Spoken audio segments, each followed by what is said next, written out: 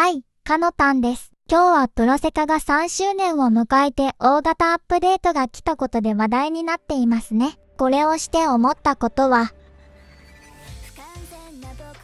アップでするのが時間の無駄でしたね。なんでかっていうと、どうでも良い機能しか追加されていないからなんですよね。メニュー画面のデザインはとても見づらいし、3DMV は目がチカチカするほど色を濃くしてるだけなのに、このクオリティだけで2年間も準備してきたものだと知った時は絶望しましたね。それに、プラセカのキャラは全員進級してるんだから、1年生の新ユニットが追加されると期待してたけど追加されなかったから、今後のガチャ引く時も不人気キャラばっか出てきそうで怖くて仕方がないですね。ご視聴ありがとうございました。